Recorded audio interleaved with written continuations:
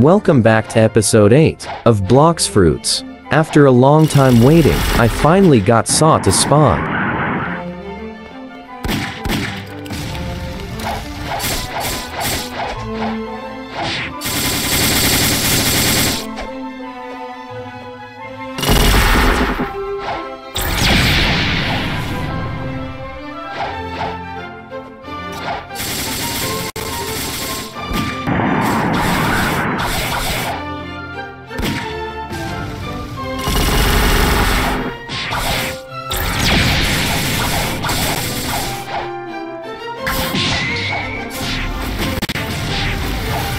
Now let's get the black cape.